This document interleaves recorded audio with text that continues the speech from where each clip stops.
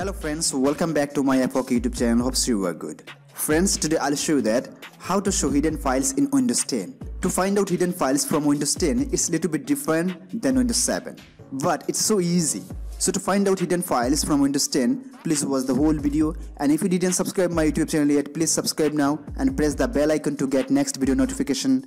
Friends, to stay tuned with me, please like my Facebook page and I'm coming to you after intro.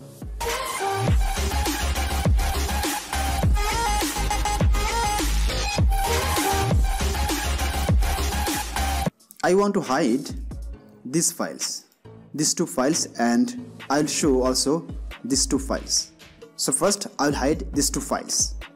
For this you have to select. Then you have to click right button of your mouse. Then you have to click on properties.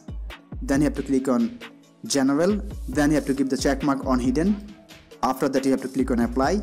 Then you have to select apply changes to these selected items subfolders and files I mean if there is inside any files of this folder also that files will be hidden so you have to click on ok.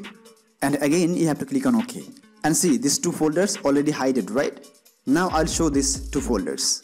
So close this window. Go on this PC then you have to go on view. Then you have to go on options. Then you have to click on change folder and search options. Then you will get interface like this. You will get a small window. After that you have to click on view then you have to scroll down a little bit and you have to click on show hidden files, folders and drives. You have to select this one. After that you have to remove the check mark.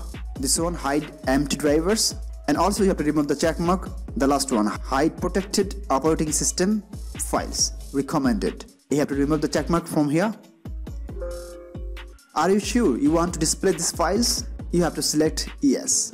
I mean you are giving the permission to show this file. So click on yes then you have to click on apply. At the end you have to click on ok. Now you can go into drives to find out the hidden files has been shown or not. So my hidden files was here. This folder i have to open this one and see. The hidden files already shown right? But again you have to select these files. Then you have to click right button of your mouse. Then you have to go on properties. Then you have to click on general. Now you have to remove the check mark from hidden after that you have to click on apply.